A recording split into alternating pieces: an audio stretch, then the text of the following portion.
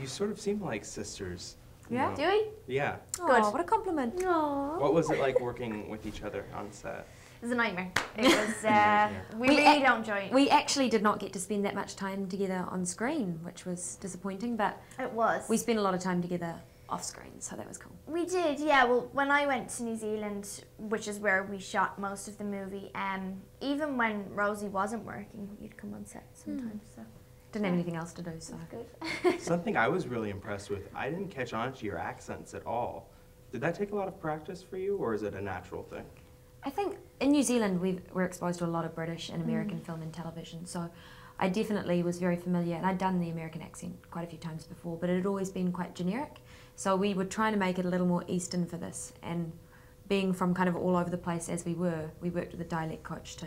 Yeah, make we us all did. match We had a little great more. dialect coach, and we used to work individually, and we used to work in groups as well to make sure that we all had a similar sounding accent. So Rose, you said that you really enjoy reading scripts. Mm.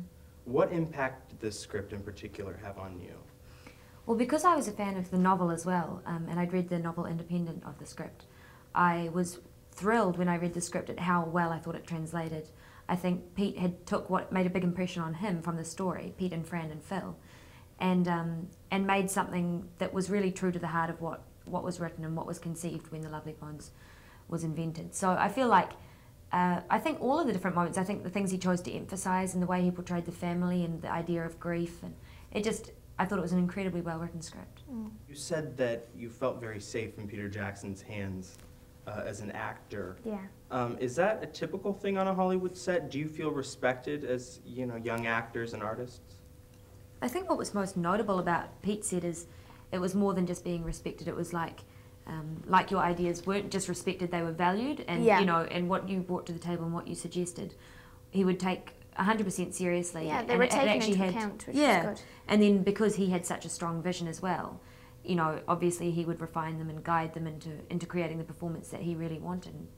And I felt like we were definitely in safe hands. You couldn't really ask somebody to make better decisions.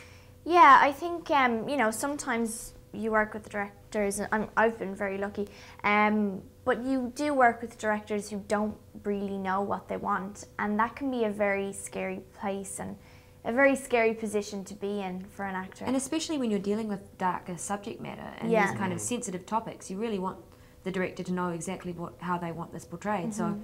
I felt like Pete from the off knew how he wanted everything to be shown, and, yeah, and it was a matter of just finding that from each of us.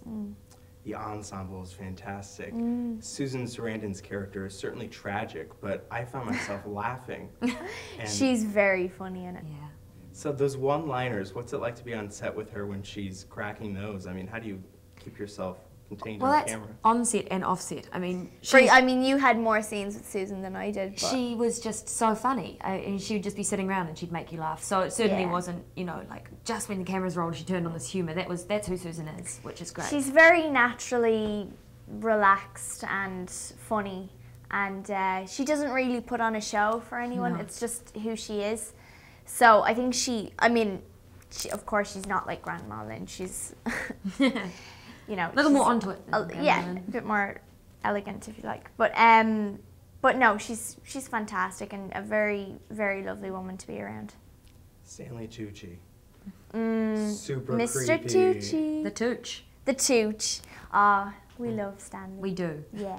Was it hard to not see him as such a creeper off camera after seeing that performance? was more well we met him as stanley not as mr harvey so we got to know him as a person we really liked Yeah. and trusted and and we had a great laugh with him when we were spending time together so then when he would transform into this horrific monstrous character of mr harvey it, that was the creepy part when we realized how he could play something just so incredibly different from who he is Yeah, and I think because Stanley's personality is so likable, Mm. you don't want to remember him when he's on screen. You do, you want to leave that behind because that's of course not who he is, um, and embrace Stanley and his personality and just his loveliness. Um, so yeah, it wasn't very easy to to see him as to see him as Mr. Harvey. Yeah, because he's wasn't enjoyable for us to see him yeah, having to be He's that. a friend of ours, and you wouldn't want to see him in that light anyway.